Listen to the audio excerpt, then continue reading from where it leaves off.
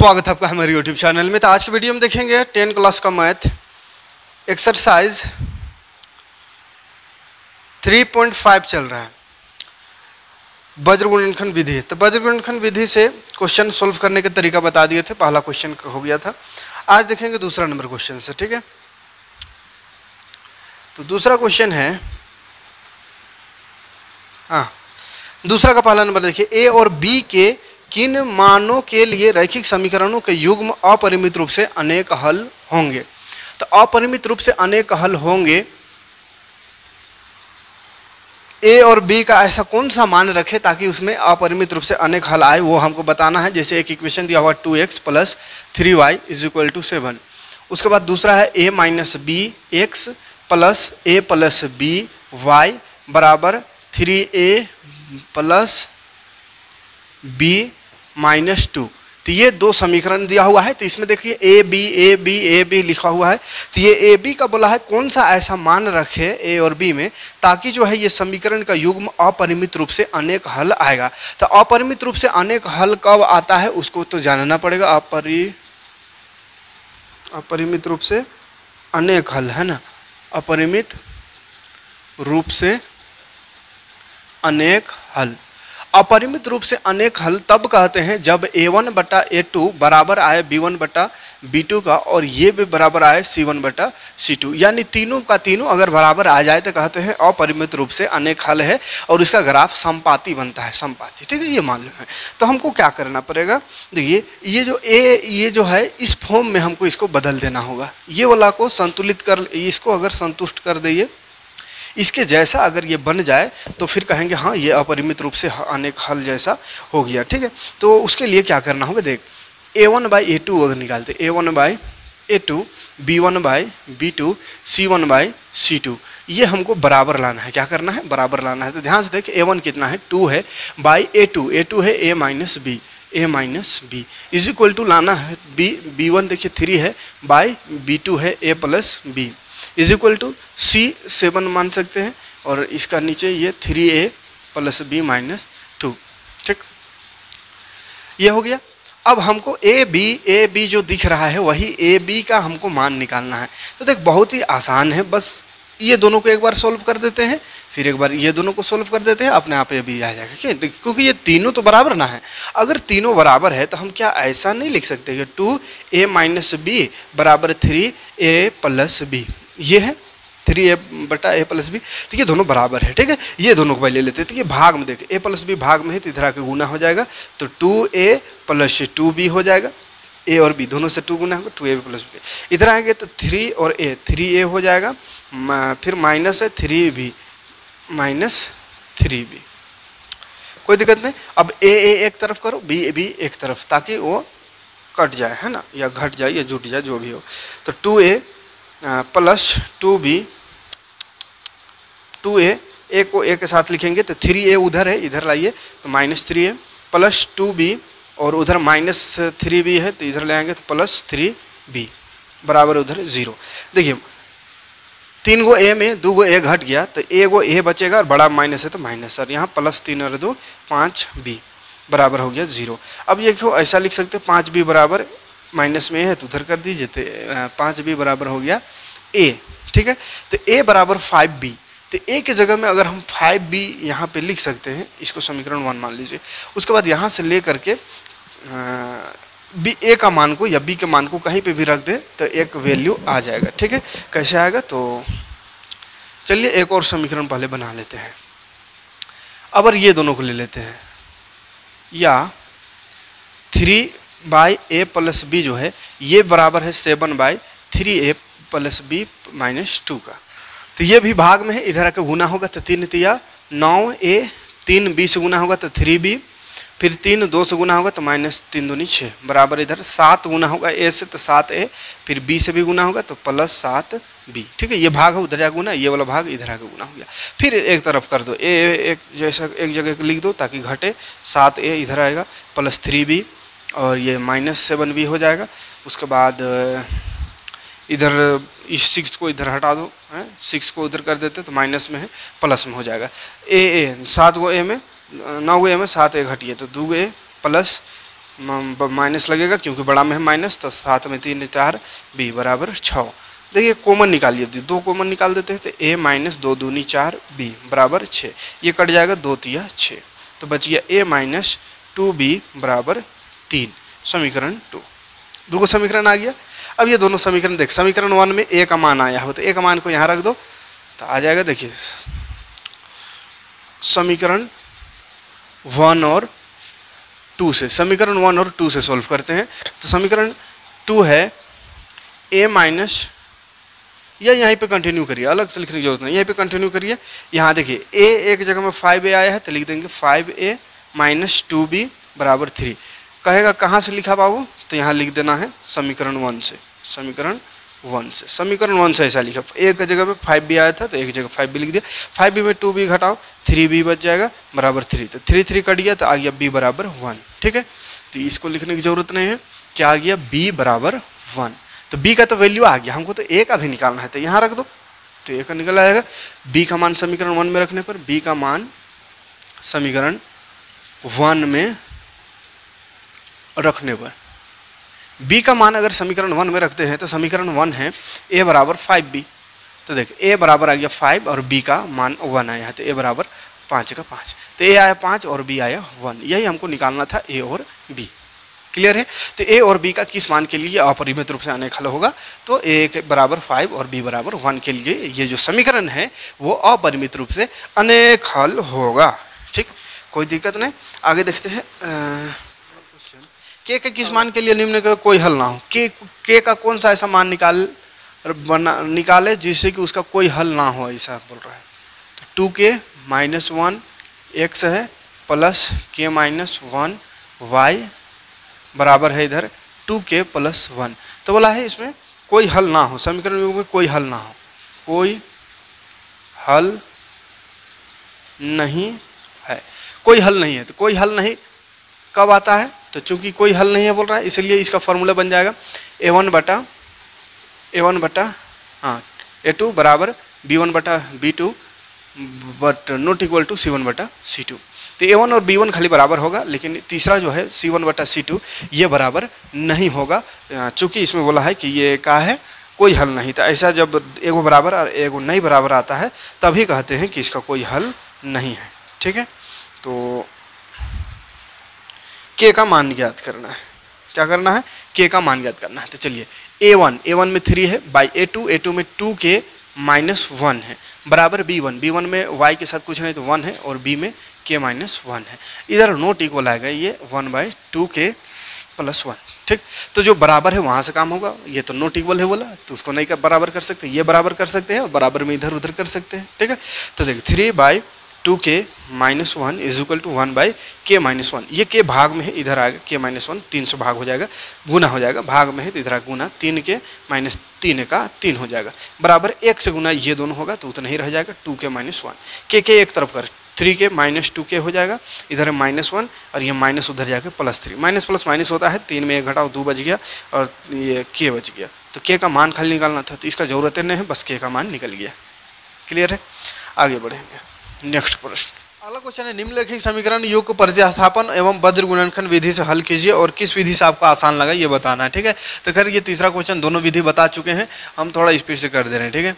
ये क्वेश्चन दिया हुआ है equation three x plus two y is equal to four ये दो समीकरण दिया हुआ है, बोला इसको प्रतिस्थापन विधि से भी हल करो और वज्र गुणनखंड विधि से भी हल करो। और बताओ कि कौन सा आसान है, ठीक है? तो चलिए प्रतिस्थापन विधि से हल करते हैं। प्रतिस्थापन विधि से। प्रतिस्थापन विधि से हल करने के लिए समीकरण वन टू समीकरण वन से समीकरण थ्री बनाते हैं, ठीक है? समीकरण वन से। समीकरण वन लेंगे तो आठ एक्स प्लस फाइव वाई बराबर नौ। यहाँ से एक्स का मान निकालते हैं तो हो जाएगा एक्स या वाई का निकालना है तो एक्स ही निकाल देते हैं तो सबको हटाओ। फाइव उधर जाकर माइनस आठ गुना में तो भाग, ये समीकरण तीन हो जाता है, ठीक? फिर इसका मान को समीकरण दो में रखने पर तो लिखेंगे एक्स का मान एक्स का मान समीकरण टू में रखने पर एक्स का मान समीकरण टू में रखने पर, बहुत बार ये क्वेश्चन हो चुका है, ये पहले का क्वेश्चन है, इसलिए थोड़ा स्पीड से कर दे रहे हैं, ठीक है? देख थ्री एक्स एक्स का नौ minus five y by eight plus two y is equal to four कटेगा, नहीं कटेगा? तो गुना का तीन नवा सत्ताईस. नौ तीन सत्ताईस का सत्ताईस माइनस तीन बचे पंद्रह वाई और नीचे है आठ. इधर कुछ हो नहीं है तो टू वाई बाई वन लगा दो, कुछ नहीं है तो एल्शियम निकालेंगे तो आठ हो जाएगा, और फिर तिरछा तिरछे तो सत्ताईस माइनस पंद्रह वाई इधर है, उतना ही रहेगा, क्योंकि एक से गुना होना है, लेकिन ये आठ से गुना होकर आठ दूनी सोलह हो जाएगा. सोलह y is equal to four ये हो गया. उसके बाद वाई वाई को जोड़ देखिए सोलह में पंद्रह वाई माइनस है, माइनस करेंगे तो एक वाई बचेगा, सत्ताईस प्लस बड़ा में है तो एक वाई। देखिए सोलह में पंद्रह, एक बचेगा और वाई तो एक वाई बटा आठ। आठ है, इधर है, चार। चार को, चार तरफ़ ले आओ आठ को, कोई दिक्कत नहीं, भाग में है तो उधर जाके गुना हो जाएगा। चार अठे बत्तीस हो जाएगा, बत्तीस, उसके बाद ये सत्ताईस माइनस में हो जाएगा उधर जाके तो वाई बराबर आ गया, बारह और सात घटाएँगे, सात पाँच बारह, कुछ नहीं, पाँच। वाई आ गया, पाँच। वाई कितना आ गया, फाइव। वाई फाइव आ गया, अब वाई का मान को समीकरण तीन में रख देते हैं तो लिख लेंगे वाई का मान समीकरण तीन में रखने पर, एक, दो, तीन, समीकरण तीन में रखने पर। Y का मान को अगर समीकरण तीन में रखते हैं तो समीकरण तीन है x बराबर nine minus five y by eight तो हो गया nine minus five y y का है फाइव बाई एट तो ये हो गया नाइन माइनस पाँच पच्चीस पच्चीस बटा आठ तो हो गया पच्चीस में नौ घटाओ तो चौ, कितना हो जाएगा? अठा सोलह। बटा आठ, बड़ा माइनस माइनस आठ दूनी सोलह। तो एक्स की इक्वल टू आ गया माइनस टू। तो एक्स टू माइनस टू और वाई इक्वल टू फाइव, ठीक है? तो एक्स का मान आया माइनस टू वाई का आया फाइव। ये रहा प्रतिस्थापन विधि। चलिए वज्र गुणनखंड विधि यहाँ पर देखते हैं बना के। वज्र गुणन विधि से। वज्र गुणन विधि से बनता है कि नहीं इतना सा कोशिश करते हैं, बना देंगे। एक्स बटा एक्स पहले यहाँ का वज्र गुणनखंड विधि निकालने के लिए a one b one c one c two जो है, वो सबको निकाल लेना पड़ेगा, ठीक है? तो क्या करें, निकाल लें। हम्म हम्म हम्म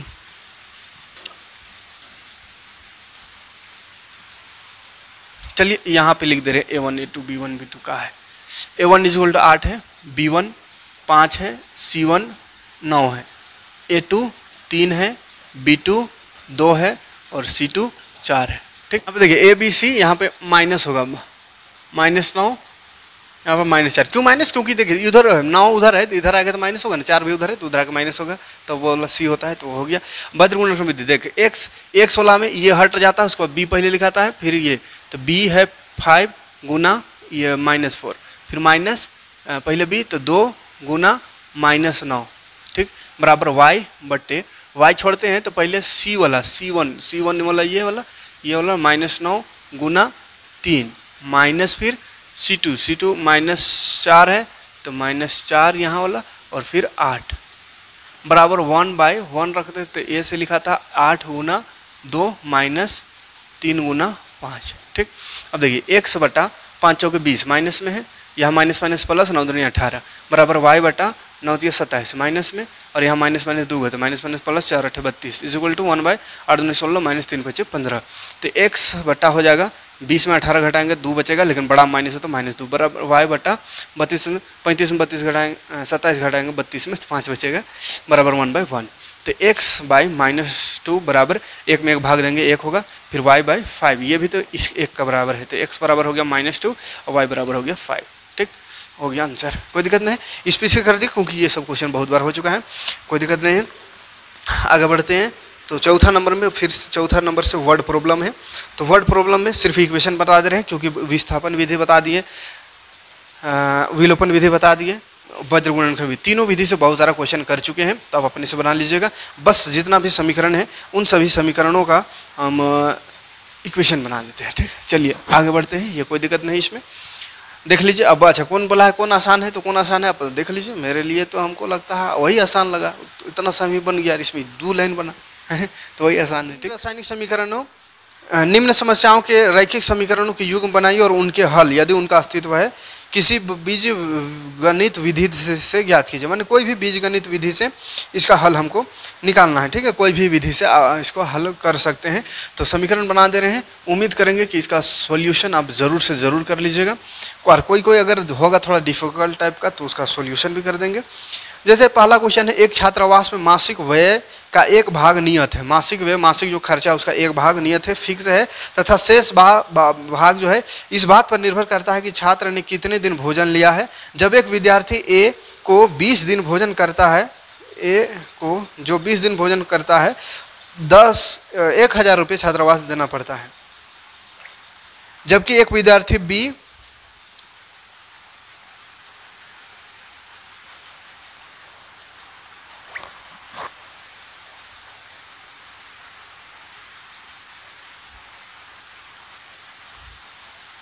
जबकि एक विद्यार्थी जो जो 26 दिन भोजन करता है, छात्रावास के व्यय के लिए ग्यारह सौ अस्सी रुपया अदा करना पड़ता है तो नियत व्यय और प्रतिदिन का भोजन का मूल्य याद करना, ठीक है? तो पढ़ते रहने से क्वेश्चन को नहीं समझ माना नियत माना नियत भाड़ा।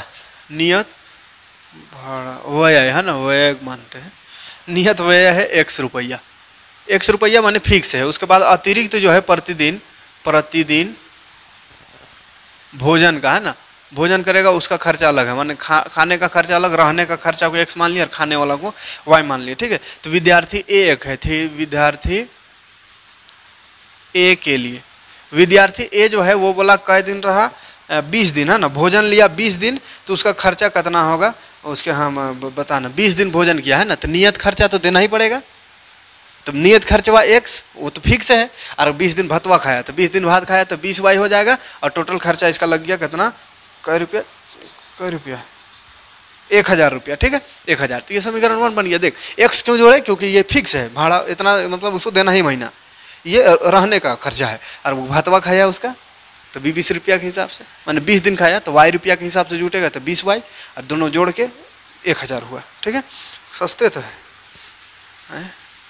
हाँ। अब विद्यार्थी बी विद्यार्थी बी बी के लिए। बी के लिए बी का किया, कई दिन खाया भात। एक तो रहेगा फिक्स ये है, और भात खाया कई दिन 26 दिन तक भोजन किया। तो 26 दिन तक भोजन किया तो 26 गुना हो जाएगा वाई से। 26 का हो जाएगा गुना वाई से। तो वाई से हो गया तो हो जाएगा कै रुपया अठ ग्यारह सौ अस्सी रुपया। ये हो गया समीकरण टू। ठीक? अब दो दो को समीकरण बन गया तो अब इसको विलोपन विधि से बनाओ प्रतिस्थापन विधि से बनाओ कि वज्रगुणन विधि से कोनो विधि से बनाओ आंसर आ जाएगा। ठीक है? कोई विधि से आप इसको बना सकते हैं। लेकिन क्या करना है? पहले जाँच कर लेना है कि इसका हल है कि नहीं। ऐसे वज्र गुणनखंड विधि से अगर हल करिएगा तो एक्स प्लस बीस वाई ये वाला इधर ले आइएगा माइनस में एक हज़ार बराबर उधर ज़ीरो ठीक है? ये वाला इधर एक्स प्लस छब्बीस वाई ये इधर आकर माइनस ग्यारह सौ अस्सी बराबर ज़ीरो, ठीक है? उसके बाद बद्र गुणनखंड विधि से हल कर देना है, जो कि हल करने का तरीका बहुत बार बचा, बता दिए, बहुत सारा क्वेश्चन कर दिया, आराम से आप अगर समझे होंगे, सही से देखे होंगे सारे क्वेश्चन को तो आराम से हो जाएगा। कमेंट करके आंसर बताना है सबका, ठीक है? इसका आंसर बताइए कितना आता है, उसके बाद फिर नंबर दे के आंसर बताइएगा, है ना? फोर जैसे पहला का आंसर बताइएगा ऐसा। फोर का पहला लिखने की कोई ज़रूरत नहीं जैसे फ़र्स्ट लिखिए और आंसर लिखिए। एक्स इतना है वाई इतना है। फिर सेकेंड का आंसर एक्स इतना वाई इतना, ठीक है? ताकि हमको भी थोड़ा बढ़िया लगे कि आप लोग पढ़ रहे हैं, ठीक है? तो इसको हटाते हैं। समीकरण बना दे रहे हैं, ताकि समीकरण बनाने में आपको कोई दिक्कत ना हो। बाकी कोई भी विधि से आप हल कर सकते हैं। सेम आएगा। हो गया दूसरा क्वेश्चन देखते हैं। कहाँ गया? किधर चल दूसरा क्वेश्चन है, एक भिन्न एक बटा तीन हो जाती है, जब उसके अंश से एक घटाया जाता है और वह एक बटा चार हो जाती है, जब हर में आठ जोड़ दिया जाता है तो वह भिन्न याद करना तो एक भिन्न याद करना है तो भिन्न मान लेते हैं, माना भिन्न में अंश हर होता है तो अंश बराबर एक्स और हर बराबर वाई ठीक है? तो भिन्न में क्या बोला है? वन बाई थ्री हो जाता है। हो जाता है यानी बराबर से उधर लिखना वन बाई थ्री हो जाता है। कब हो जाता है? जब उसके अंश से एक घटाया जाता है। तो अंश एक से उसमें एक घटा दो और वाई में कुछ हो नहीं करना है। तो ये वन बाई थ्री हो जाता है। पहला कंडीशन ये है। स्थिति वन पहला कंडीशन तो इसको थोड़ा सीधा कर लो, उसके बाद समीकरण मान लो। तीन गुना में भाग में इधर आके गुना होगा तीन एक्स माइनस तीन का तीन और ये वाई यहाँ जाकर वाई का वाई एक तरफ़ कर दे सबको थ्री एक्स वाई वाला माइनस वाई माइनस तीन बराबर ज़ीरो ये हो गया समीकरण वन कोई दिक्कत नहीं। फिर सेकेंड स्थिति है। स्थिति टू दूसरा स्थिति में बोला है कहाँ गया?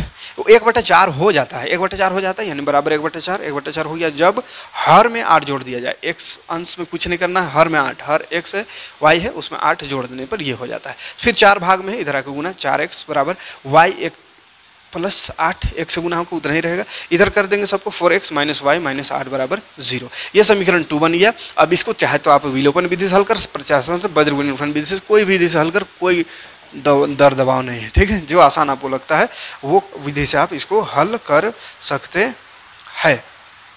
क्वेश्चन क्या है? देखिए अगला क्वेश्चन। यश ने एक टेस्ट में चालीस अंक लाया ठीक है, चालीस अंक लाया जब उसे प्रत्येक सही उत्तर में तीन अंक, सही जो बनाए थे उसका तीन नंबर मिला था और गलत जो बनाए थे उसका एक नंबर कटा था। ऐसा लिखा हुआ है।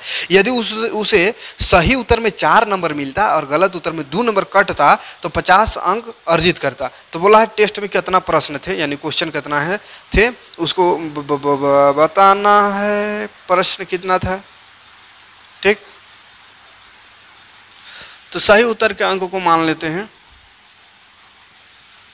सही उत्तर के अंक। एक्स मान लेते हैं और गलत उत्तर को मान लेते हैं वाई ठीक है?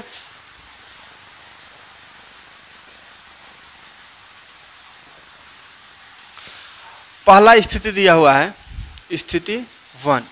पहला स्थिति स्थिति दिया हुआ है, सभी सही उत्तर का, सही उत्तर का अंक सही उत्तर का अंक दिया हुआ है, तीन होता है। तो तीन और एक्स माने सही उत्तर की संख्या यहाँ पर अंक नहीं, संख्या एक्स सही उत्तर दिया, चल इसको बहुत लंबा हो जाएगा ऐसा ऐसा लिखते सही उत्तर जो जिसकी कैठ क्वेश्चन को दिया होगा, उसको, संख्या को हम एक्स मान लेते हैं और गलत उत्तर कितना को दिया होगा, उसको वाई मान लेते हैं। और सही उत्तर का पहला कंडीशन में दिया होगा कि तीन नंबर मिलेगा और एक नंबर कटेगा। तो एक नंबर कटेगा यानी माइनस एक वाई हो जाएगा, माइनस एक वाई एक नंबर में कटेगा। हाँ एक नंबर कटेगा तो माइनस एक वाई, माइनस एक वाई, एक को लिखने की ज़रूरत नहीं है बराबर आया उसको चालीस नंबर। तो हो गया समीकरण वन, है?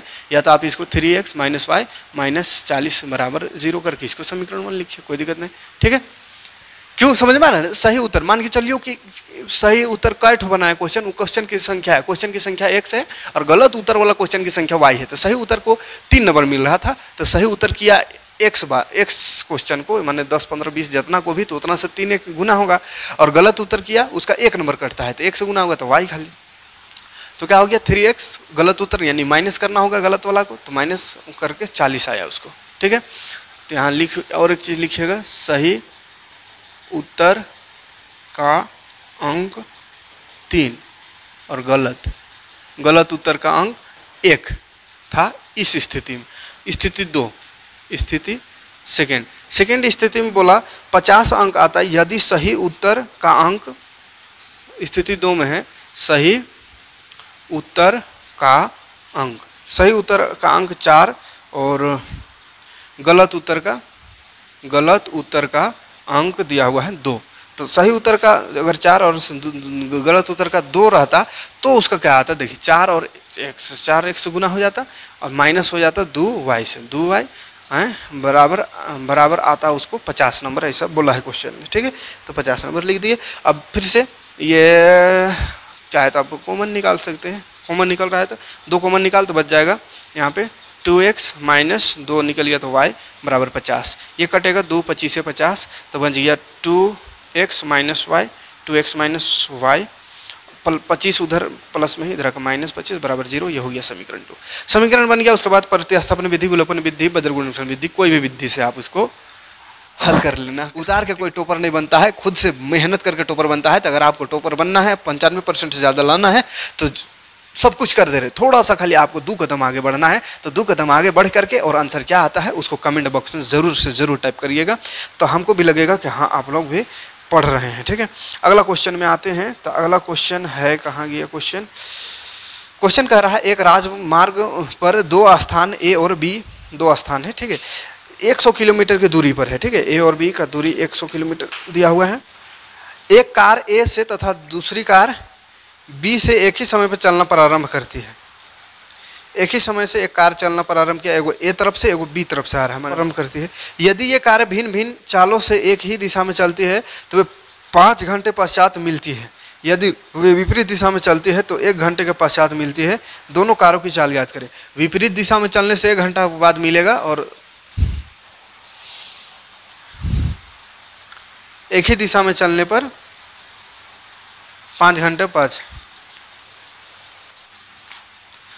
तो इसके लिए क्या करना, गति को मान लेते हैं। माना, एक कार की गति, एक कार की गति।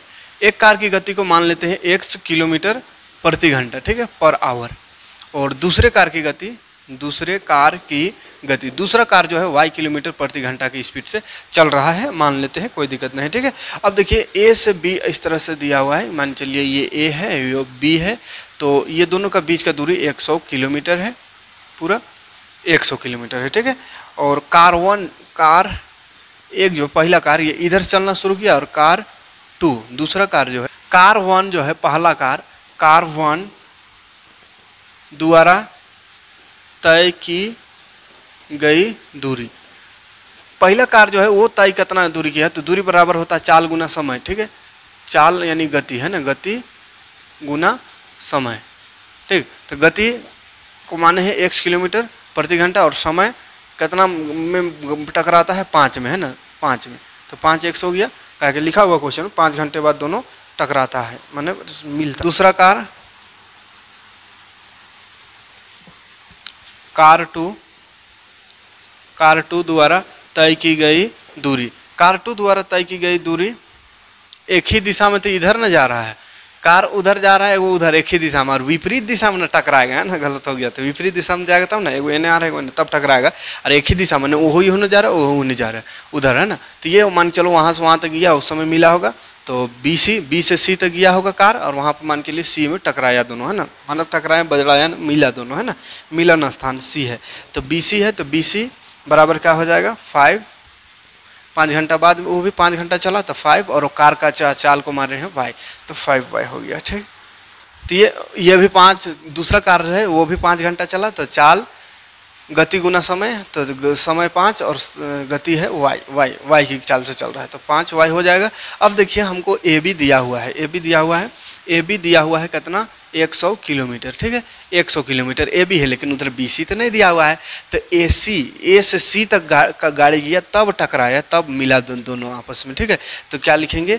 ये ए ए बी जो है ये ए सी पूरा ए सी है। ए सी में से अगर बी सी को घटा देंगे तो ए बी आएगा। तो लिख देंगे ए सी माइनस बी सी बराबर एक सौ है, दिया हुआ है। तो ए सी कितना आया देखिए ए सी ए से सी तक गया ए से सी तक। पहला कार कहाँ से कहाँ तक गया? ए से सी तक है, दूसरा कार सी तक आया। तो ए से सी तक, ये ए सी की दूरी है ना?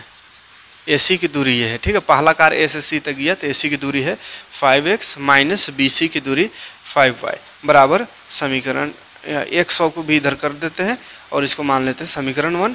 ये समीकरण वन बन गया बाबू, इसको सोल्व करिएगा। उसके बाद दूसरा कंडीशन देखते हैं। एक ही दिशा में अगर कार चलना शुरू करे, ये भी इधरे और ये भी इधरे तो एक घंटा में मिल जाता है। माने एक घंटा दियो कार चलेगा, ठीक है? तो एक घंटा में ये कार यहाँ से इधर कहीं पर मिलेगा। उसको मान लेते हैं अबर देखिए, अगला कंडीशन ए से बी कार जो है, पहला car car one, car two. पहला कार, दूसरा कार, दोनों एक ही दिशा, विपरीत दिशा में चलना शुरू किया तो यहाँ पे कहीं पे आकर मान चलिए मिलेगा ए बी डी मान लेते ताकि कन्फ्यूज़न ना हो, ठीक है? तो कार वन जो है, और ए बी की दूरी तो एक सौ किलोमीटर दिया हुआ है, यहाँ से यहाँ तक। तो एक घंटे में, एक घंटा बाद मिला तो एक घंटे में कार वन द्वारा तय की गई दूरी। कार्बन कितना दूरी से तय किया? तो ए से डी तक ए डी बराबर ए डी ठीक? ए डी तक गया ए से डी तक गया। ठीक? अब ए डी को देख।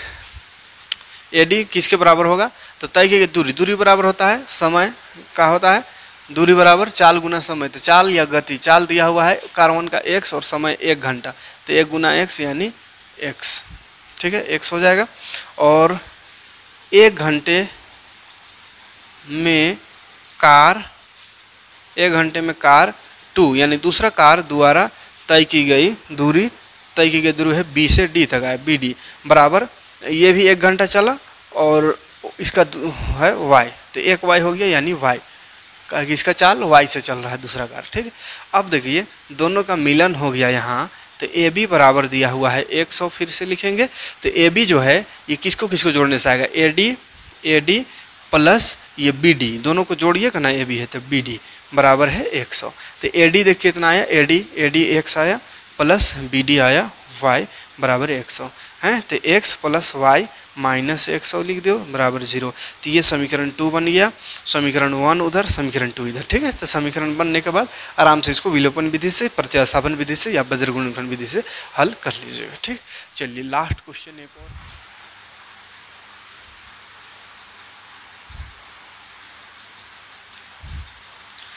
लास्ट क्वेश्चन है, एक आयत का क्षेत्रफल नौ वर्ग इकाई कम हो जाता है, यदि उसकी लंबाई पाँच इकाई कम कर दी जाती है और चौड़ाई तीन इकाई बढ़ा दी जाती है। तो लंबाई चौड़ाई की बात कर रही है। क्वेश्चन तो लंबाई को मान लेते हैं, लंबाई बराबर एक्स चौड़ाई बराबर वाई मानने में क्या जाता है? ठीक है, माना। आयत की लंबाई बराबर एक्स आयत है ना? आयत है। तो आयत की लंबाई बराबर एक्स चौड़ाई बराबर वाई अब बोला है, आयत का क्षेत्रफल नौ वर्ग कम हो जाएगा। नौ वर्ग कम हो जाता, यदि उसकी लंबाई पाँच इकाई कम कर दी जाए और चौड़ाई को इतना कम कर दी जाए। यदि हम लंबाई को तीन इकाई और चौड़ाई को दो इकाई बढ़ा दें तो क्षेत्रफल सड़सठ वर्ग किलोमीटर बढ़ जाएगा। समझ में आ रहा है? चलिए। आयत का क्षेत्रफल सबसे पहले। आयत का क्षेत्रफल। आयत का क्षेत्रफल होता है लंबाई गुना चौड़ाई। ठीक है? इसको हिंदी में लिख दे रहे लंबाई गुना चौड़ाई। बड़ा नज़र। तो लंबाई एक्स गुना चौड़ाई वाई। ठीक? अब देखिए क्वेश्चन में कह कह रहा है कि आयत का क्षेत्रफल नौ वर्ग जो है, इकाई कम हो जाता है, नौ वर्ग कम हो जाता है। माने आयत का क्षेत्रफल इतना है, एक्स, वाई, ये नौ कम हो जाता है, नौ कम हो जाता है। कब? स्थिति वन है, ये है ना? स्थिति वन, पहला स्थिति। कब कम होता है बाबू? कब वाई क्षेत्रफल जो है, नौ कम हो जाता जब बोल रहा है लंबाई पाँच इकाई, लंबाई को एक्स मान्य है तो लंबाई को पाँच कम करने बोला है तो पाँच माइनस एक्स पाँच कम कर दी जाती और चौड़ाई तीन इकाई बढ़ा दी जाती। तो चौड़ाई है वाई तो वाई को क्या की जाती, तीन इकाई बढ़ा दी जाती, ठीक है? तो आयत का क्षेत्रफल नौ कम हो जाता। तो देख, ये ये गुना ये हो जाता, लंबाई गुना चौड़ाई, आयत का क्षेत्रफल होता है लंबाई गुना चौड़ाई। आयत का क्षेत्रफल यहाँ क्यों ऐसा लिखे? क्योंकि आयत का क्षेत्रफल होता है लंबाई गुना चौड़ाई। तो लंबाई को, लंबाई मतलब पाँच कम कर तो लंबाई में पाँच कर दिए। तो चौड़ाई में मतलब तीन ज़्यादा करना है तो चौड़ाई में तीन ज़्यादा कर दिए उसके बाद गुना, लंबाई, गुना चौड़ाई, बराबर, ये जो लंबाई चौड़ाई ओरिजिनल वाला है, उसमें नौ कम हो जाता है तो एक्स वाई में माइनस नौ, ठीक? अब इसको सोल्व करें एक्स और वाई गुना होगा तो एक्स वाई फिर एक्स से तीन से गुना होगा तो प्लस तीन एक्स फिर पाँच वाई से गुना होगा तो माइनस पाँच वाई फिर पाँच माइनस पाँच दिया पंद्रह। पाँच दिया पंद्रह। ठीक, इधर है एक्स वाई माइनस नौ। देखिए एक्स वाई एक्स वाई से खत्म हो जाएगा, कहेगी दोनों प्लस में ही, एक तरफ़ आएगा तो माइनस हो गया खत्म कहानी। तो बच गया three X minus five Y minus पंद्रह प्लस नौ, बराबर ज़ीरो तो three X minus five Y minus plus minus लेकिन बड़ा माइनस माइनस लगाएँगे, यहाँ कितना बचेगा? कितना बचेगा? पंद्रह में नौ घटावेंगे तो छः बचेगा, बराबर ज़ीरो ये हो गया समीकरण वन समीकरण वन हो गया, उसके बाद स्थिति दो। सेकेंड स्थिति क्या है? स्थिति टू सेकेंड स्थिति में बोला है, क्षेत्रफल कितना अधिक हो जाता है बोला? क्षेत्रफल सड़सठ अधिक हो जाता है। जब लंबाई तीन और चौड़ाई को दो बढ़ा दिया जाता है, ठीक है? तो लंबाई प्लस तीन कर देते हैं। लंबाई को अगर प्लस तीन कर दे तो गुना हो जाएगा फिर चौड़ाई प्लस दो। तो क्षेत्रफल जो है, क्षेत्रफल वो हो जाएगा जोड़ क्षेत्रफल जो है सड़सठ अधिक हो जाएगा। इसको लिखना है। ठीक है? देख, लंबाई लंबाई लंबाई लंबाई लंबाई एक्स प्लस थ्री चौड़ाई वाई प्लस टू ब्रैकेट माने गुना एल प्लस भी हो गया। एल गुना भी हो गया, लंबाई गुना चौड़ाई। फिर क्षेत्रफल क्षेत्रफल एल एल बी है, यानी एक्स वाई एक्स वाई है प्लस सड़सठ। फिर गुना कर एक्स और वाई एक्स वाई हो गया। एक्स और दो गुना करें तो दो एक्स हो गया। फिर तीन और वाई गुना करें, तीन वाई हो गया। तीन दूनी छः हो गया। बराबर एक्स वाई प्लस सड़सठ। अब सबको एक तरफ़ कर, यानी ये X Y X Y cut गया, बच गया two X plus three Y plus छः माइनस सड़सठ बराबर ज़ीरो तो हो गया two X plus three Y minus साठ। इकसठ बचेगा, बराबर ज़ीरो ये बन गया समीकरण टू ठीक? समीकरण टू और वन दोनों बना दिए, तब अब विलोपन विधि से बनाना है तो विलोपन से बना प्रत्यास्थापन वज्रगुण विधि, जो विधि आपको आता है, कोई दिक्कत नहीं है ना? आप उस विधि से बना सकते हैं। क्लियर है? तो पाँच क्वेश्चन कितना पाँच क्वेश्चन हो, पाँचों का कमेंट देखना चाहेंगे। पाँचों का कमेंट करिए। पहला का इतना आंसर दूसरा का इतना, तीसरा का इतना, चौथा का इतना करके पाँचों का कमेंट करिए, ताकि हमको लगे कि हाँ आप लोग भी पढ़ रहे हैं। और अगर पाँच, पंचानवे परसेंट लाना है तो ज़रूर से ज़रूर कमेंट करिएगा। जितना को जितना कोई कमेंट करिएगा इस क्वेश्चन को सोल्व करके, पाँचों का आंसर उसका समझिए, पंचानवे से प्लस ज़रूर आएगा।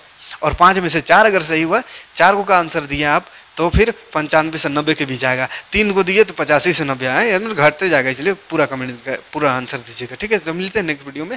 Thanks for watching